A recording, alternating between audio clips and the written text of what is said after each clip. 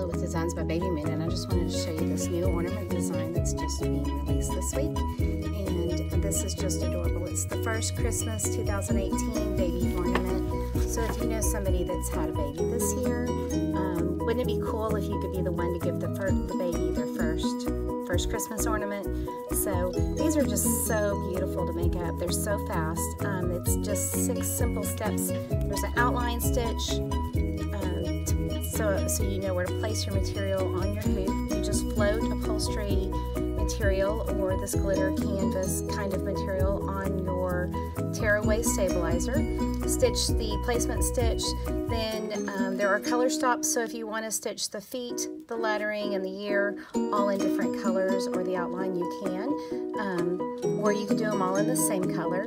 Uh, I chose a blush pink and a very soft baby blue with a deep kind of goldy bronze color um, for the accent stitching and um, they just came out beautiful. I used the glitter canvas um, called Frost Glitter from Vinyl Nest for the front.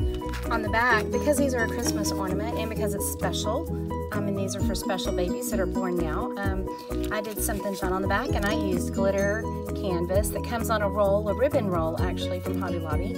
Um, and um, it's in the ribbon section, but um, when these are hanging on the tree, I want lots and lots of sparkle and lots of shine. So that's why I put glitter on the back too. I think these are just beautiful. They're super quick to stitch out. They come um, for the 4x4 hoops, so you can make one or you can sort them in your software and make a bunch at a time. Um, but they're just a beautiful little memento for anybody you know who's had a baby this year. So um, let me know what you think. I'm so excited about these and I think they'll be a, a, a sweet blessing for anybody that you know that's got a new little one in their life. So thanks for watching.